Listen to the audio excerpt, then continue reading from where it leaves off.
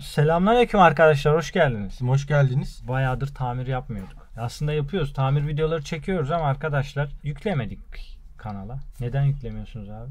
Neden yüklemiyoruz kanala video? Niye böyle oldu ya? Mikrofon şurada bir de o tarafa bakarak Ha, konuşursan Semih'ciğim daha Tamam. iyi olur gibi. Tamam.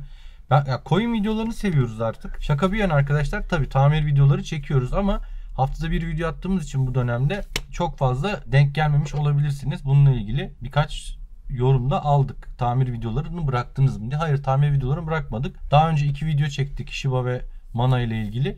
Onlar bizim sadece sevdiğimiz, sizin de bilgilenmenizi istediğimiz Metaverse projeleri ve bir tanesi popüler bir koyun Shiba. Ondan bahsettik. Bugün tam anlamıyla tamir yapacağız. Bu cihazları biz sanal bit pazarından satın almıştık daha önceki günlerde. Toplamaya fırsatımız olmadı. Günlük işlerimizden, abone tamirlerinden, işte tamiret.net'ten dolayı falan filan Inter Milan. Bugün Semih'le bunların arıza tespitini yapacağız. Aslında bu videonun temel noktası neydi Semih? Arıza tespiti. Are you listening?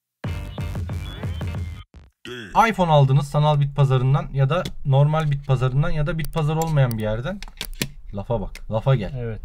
Neyse cihaz var bozuk elinizde. Bunların ilk etaptaki arıza tespitleri nasıl yapılır? Ne arızası var? Adam size gel dedi. İşte bataryası az gidiyor. Bunun bataryası bozuk dedi. Gerçekten bozuk mu? Sinyal alıyor mu? Elektrik çekiyor mu? Voltaj amper yükseliyor mu? Bunlara nasıl bakabilirsiniz konusu önemli bir konu. Çünkü tamirin ana temel noktası bu bence. Evet, şimdi arkadaşlar bunlarda mesela şu iPhone 7 bunu bu şekilde aldık. Bataryası falan yok. Kasa ve bir ekran kartı çalışıyor mu bilmiyorum. Hatırladığım kadarıyla bunda sıkıntı yurt dışı bu cihaz. Çalışıyor ama kayıtlı değil. Bu cihaz baseband'a arızalı olduğunu söylediler. Bu açılıyor. Şöyle göstereyim. Açılmıyor Açılmıyor. açılmıyor. Bu da sıvı temas olduğunu söylediler. A6 kayıtlı. Zaten bakın buradaki plakalar normalde şöyle göstereyim. Şurada plakalar olması lazım metal. Hepsi sökülmüş. Bir tadilat görmüş. Şimdi şöyle yapalım. Bunun üstünde ekran var diye ilk önce bunu deneyeceğim. Diğerleri için de kendi şöyle test ekranlarım var benim. Bunlarla denemek için kenara ayırdım. Şimdi şunu bir deneyelim. Bunu şöyle düşünüyorum. Demek açılmadığına göre bu bataryada bir durum olabilir. İçinde batarya var anladığım kadarıyla ağır çünkü. Ha batarya varmış. Açılmıyor bu bataryayla. Bataryayı taktık çıkardık yine açılmıyor. Şimdi bu tarz durumlarda yaklaşık iPhone'un 10 tane modeli var. 10 tane batarya tutmanız gerekiyor. Bunun yerine kablolar satılıyor arkadaşlar. Mesela benim şu şöyle bir kablom var. Bu kablo biraz eski e, iPhone 4S'lere falan uyumlu hatta en fazla 6 Plus'ı oluyor. Daha üstüne olmuyordu. Onun yerine bizde şöyle bir tane iBot var. E, bu mekanik marka. Biraz markası iyi aslında. iyi bir ürün. Bu tarz ürünler seçerken iyi bir marka seçmeye çalışın. Özellikle teknik servisi işiyle uğraşan arkadaşlar cep telefoncuları muhakkak bu ürünü duymuşlardır. Ee, onlar da olmazsa olmaz zaten. Özellikle hani bu tür cihazlarla çok ilgileniyorlarsa Aslında bunun kutusu açıktı da ben size göstermeden önce topladım. Ben bunu aktif kullanıyorum. Şu şekilde.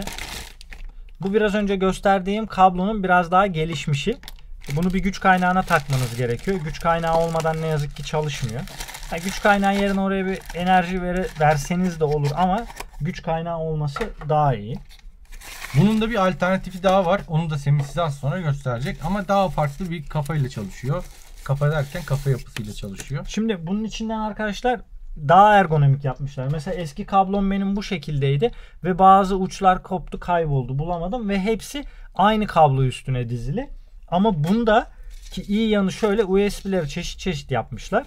Mesela bunu alırken biz öyle bir seçtik ki iPhone 6, 8, X, XR, 7 hatta 12, 12 mini, 12 Pro, 12 Pro Max hepsine uyumlu 13'e arkadaşlar. kadar tüm modeller var. 13 Anladığım yok kadarıyla. sanırım benim hatırladığım kadarıyla üstünde. Bir daha bir daha bakayım. Zaten 13 biz de görmedik daha tamirde.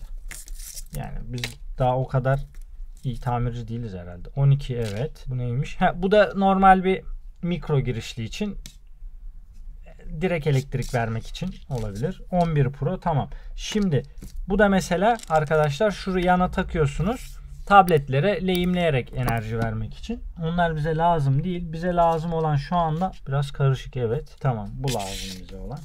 Bunları alalım. Boşuna burada kalabalık yapmasın. Şimdi arkadaşlar bunun mantığı şu şekilde. Bunu güç kaynağınıza takıyorsunuz. Güç kaynağımı gösteremiyorum. Sabit benim güç kaynağım. Onu şöyle yapayım size en iyisi. Uzatma kablosuyla beraber güç kaynağıma ben şöyle bağlamış olayım. Şu an güç kaynağıma bağladım. Enerji yeterli gelmiyor. Çünkü 5 voltla çalışıyor. Benim güç kaynağım 3 nokta şeydeydi. Tamam 5 volta getirdim. Bakın çalıştı. Böyle bir ekran var. Güç çekip çekmediğini gösteriyor. Dereceyi gösteriyor. Bunu USB'ye taktım. İsterseniz bunu masanızda güzel bir yere koyup burada Aynen, 5 gayet tane güzel. çıkış var Şarj- aynı anda. Şarj da edebilirsiniz telefonu. Şimdi buradan cihazımızın çalışıp çalışmadığını görmek için biz 6S deneyecektik değil mi ya? Şu kaç? 600. Yanlış kabloyu taktık. Şuymuş. Şimdi üstünde modelleri yazıyor. Bizim kullanacağımız model şu 6S, 6S Plus aynı ikisinin girişi. Bunu buraya bu şekilde takıyoruz arkadaşlar. Batarya gibi düşünün. Şu an startladığımda güç çekecek mi, çekmeyecek mi buradan göreceğim. Şu an çekmeye başladı ve açıldı. Şu an ne kadar elektrik çektiğini ve şarj olup olmadığını buradan gösteriyor. Bakın 0.2 amper çekiyor. Yani direkt elektrik vermiş oldun. Batarya kullanmadan. Aynen öyle. Aslında bunun şu şekilde bu ekran üzerinde göremiyoruz ama e, power supply'imizin üzerindeki sıfırlı dilimleri var current olarak. O sıfırlı dilimlerinde atıyorum 0 0.2 çekerse atıyorum base bandında arzar. Bu örnek arkadaşlar. Yani kesin öyle demek istemiyorum. Yatırım tavsiyesi He, değildir. bu sadece örnek veriyorum. Oradaki o şemaya bakarak ne kaç çektiğinde nerede arıza olduğu da tespit ediliyor. O ayrı bu. O daha profesyonel bir iş olduğu için ona girmeyelim şimdi. Açılacak mı bakalım cihaz? Gerçekten baseband arızası var mı ona da bakarız. Zaten sıvı temas olmuş herhalde. Ekranın içi de lekeli. Açılmıyor cihaz. Cihaz Apple'da kalıyor. Bize mi kaçtı? Aman Ali Rıza Bey kaçmasın. Kaçacak bir şey yok. Kamerası var bilmem nesi var. Şimdi arkadaşlar her aldığımız cihazda tabii dört dörtlük olmuyor. Bunları komik rakamları almıştık. Evet e-mail'si okunmuyor. Bu cihaz kurulmaz. Bu cihaz basebandı bozuk. Yani bu cihaz şöyle Türkçesini söyleyeyim size. Bu cihaz e-mail'ini görmüyor. E-mail'ini görmediği için bu cihazı kuramazsınız arkadaşlar. Bu sayfayı atlatırsınız. Bypass falan yaparsınız ama telefonu kullanamazsınız. Bunun için ilk önce şebeke yani e-mail arızasının yapılması gerekiyor. Baseband'ının tamir olması gerekiyor. Ondan sonra e, bunun ben size masraflarını anlatayım. Bataryası değişecek, ekran değişecek, home tuşu yok, kasa berbat durumda. Yani bu Tabii. yani İşi çok, var. Çok, işi masraflı. var. E, değmez. Ondan satmışlar. iPhone ki. 6s. Zaten komik rakamı almıştık. Orada gördüğünüz komik rakamlı telefonların bazıları böyle olabiliyor. Zaten satıcılar da bunları belirtiyor. Belirtmezse zaten onda bir iş vardır. Yani. Her zaman kedi kaymak yemiyor arkadaşlar gördüğünüz üzere. yani mesela deneyelim mi başka bir tane de? Bu 7'yi deneyelim. Çekiyorum enerji. Merak O altı. 6.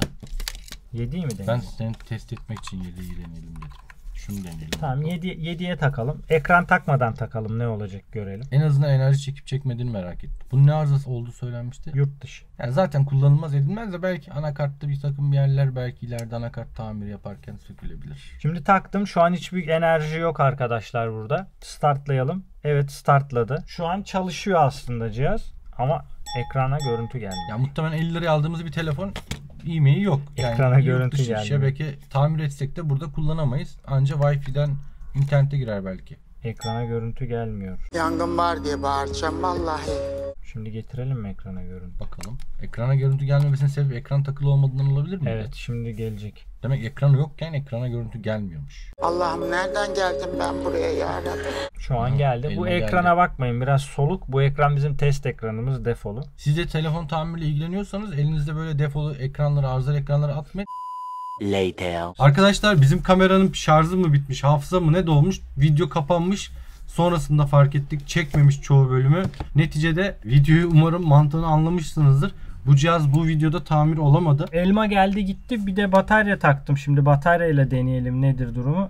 Asıl mantık zaten bu videodaki neydi? Bizim cihazlardaki arıza tespiti önceliğimiz. Zaten cihazlar arızalı cihazlar. Evet. Bir iPhone 6 bir iPhone 7 baktık bu cihazda. Önemli olan burada iBot cihazının kullanım şeklini, mantığını anlamak. Bunun da açıklama bölümünde indirimli linkini bulabilirsiniz. İlgilenen teknik servis ya da telefoncu arkadaşlar varsa ya da bu işte profesyonel ilgilenen kişiler varsa bir baksınlar. Güzel cihazlar USB tester ya da iBot muhakkak gerekli çünkü. Evde yapıyorsanız ufak tefek tamir işleri USB tester bile alsanız işinizi görecektir. Yani USB testerların her fiyat olanı var. 3-5 dolara Tabii. bile satılanı var. Makul Çin'de de var, Türkiye'de de var. Yani kafanıza göre takılın. Linkler aşağıda. Bu video böyle oldu. Kusura bakmayın çünkü kameradan kopukluk yana oldu, bir evet. yaşadık. Affettiririz kendimizi diğer büyük uzun Evet. videolarımızda. Teşekkürler arkadaşlar. Hoşçakalın. Hoşçakalın.